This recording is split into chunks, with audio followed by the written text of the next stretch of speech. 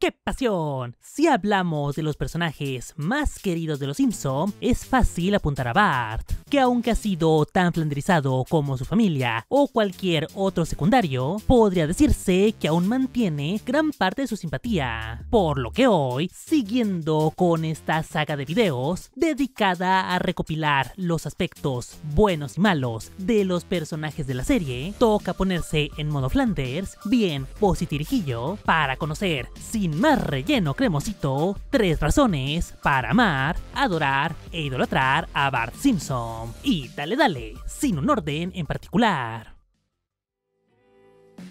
es el personaje más divertido. Esto es bastante subjetivo y depende de los gustos de cada quien, pues a algunos les puede parecer que Homero y Lisa son más divertidos, o quién sabe, algún rarito se divertirá con Marsh, pero creo que muchos podemos estar de acuerdo de que Bart es el más consistente en cuanto a la comedia. En los inicios de la serie, su propósito era exactamente ese, ser un alivio cómico para las situaciones tensas que atravesaba su familia Incluso en el primer episodio que protagonizó, pese a que tenía un gran dramón con su padre, se permitió sacar buenas bromas. Y en el resto de la primera temporada, fue Bart quien brindaba los mejores chistes. Un papel que fue evolucionando con cada año, cada temporada y cada episodio, contando con uno que otro diálogo chispilla del niño. No por nada se dio la Bartmanía, un momento donde Bart estaba en todas partes y era el favorito de la audiencia, con camisetas, videojuegos, cómics y libros, fiel a su estilo juguetón, y no es como que lo estuvieran sobreexplotando. Realmente hubo un punto donde se hablaba muchísimo sobre Bart, cosa que se entiende, porque tanto los niños como los adultos se divertían con cada cosa que decía o hacía, con el agregado de que tiene por mucho las mejores catchphrases. Dígase In My Shorts, Ay caramba, Yo no fui, Dude the Barman, etcétera, etcétera. Y sus bromas, al menos en la época clásica, eran un deleite genuino. A día de hoy, podría argumentarse que Homero es mucho más divertido, pero durante un buen tiempo fue Bart quien aportaba el mayor agregado cómico. Y es que, mientras su padre o madre andaban con problemas de adultos, como facturas o trabajo, o Lisa con sus aventuras muy de nicho, Bart se prestaba para historias más alocadas, las cuales, aunque en ocasiones no eran muy buenas, se le debe reconocer lo bien que se puede adaptar a todas ellas porque puede ser un niño tierno o un villano intimidante. Lo veremos haciendo travesuras o ayudando a otros, siendo dorado o maltratado y siempre encontrará la forma de sacarte una sonrisa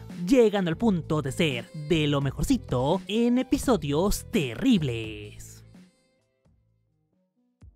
Buena persona. Otro punto con el que sus haters no estarán tan de acuerdo, y ya veo muchos diciendo que estoy estúpido, porque Bart ha hecho esto y aquello, un criminal, sus bromas son peligrosas, bla bla bla bla. Miren, no negaré lo evidente, es bastante común ver a este niño torturando personas con sus bromas, las cuales en su mayoría son por mera satisfacción personal, ni se diga su obsesión con molestar, mentir o estafar a cualquier persona que se cruce delante de él. Sin embargo, rara vez se destaca lo particularmente buena persona que es. Será canijo y todo lo que quieras, pero si le pides ayuda, te la brinda con toda la actitud.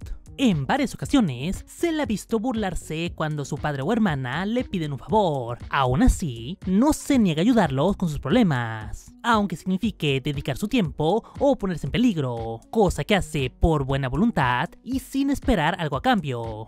Y eso es si le pides ayuda, porque muchas veces, por mera voluntad propia, ayuda al que lo necesita cuando nota que está en problemas. Usualmente se le ve molestando a Lisa, pero de no ser por Bart, su hermana hubiese seguido el mal camino. Ciertamente la fastidia por ser un cerebrito, a la vez que la defiende de quienes la molestan exactamente por eso, o ayudándole de formas que no reciben suficiente atención, llegando al punto de poner en peligro su estilo de vida con tal de que Lisa salga adelante. Lo mismo con sus padres, a quienes incluso de forma desinteresada les ha dado dinero o pagado sus cuentas cuando tiene trabajo, y respetando las ocasiones precisas cuando le piden que no haga nada malo. También podríamos hablar de cómo busca que sus enemigos tengan una buena vida, no dudando en alegrar el día de Edna, Skinner o Bopatiño cuando nota que están deprimidos. Y ni se diga a sus amigos